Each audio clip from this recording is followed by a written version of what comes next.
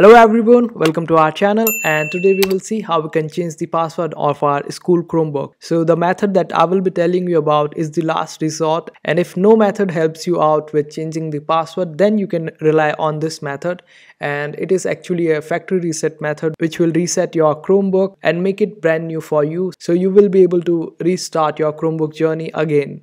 So for this method you need to start your Chromebook and as soon as it is turned on just don't open up. Rather press these keys together and the keys are control alt shift and r.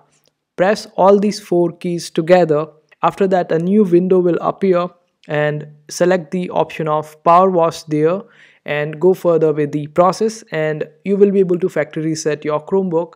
But make sure that you back up all your data before doing this step as all your data will get erased after this method or this process. So back up your data well in advance before doing this process. I hope this video was helpful. Make sure to hit that like button and also subscribe to our channel for more helpful videos